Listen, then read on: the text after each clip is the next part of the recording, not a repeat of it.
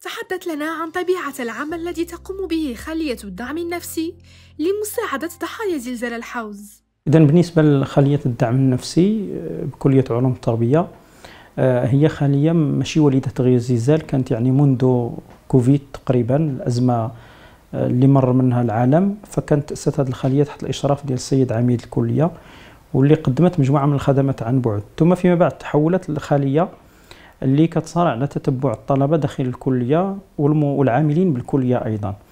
آه، مباشرة بعد الزلزال تم التفكير في أننا نقوم بزيارة الأماكن المنكوبة.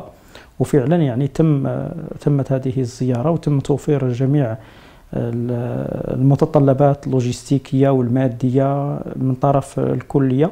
وهنا كنشكر السيد العميد على الانخراط ديالو ولا مشروط الدعم ديالو دائما للخليه آه، لذلك الخلية قامت بهذه المبادرة آه، لزيارة تلك المناطق والاطلاع عن كتب على آه، الظروف النفسية والاجتماعية والتربوية.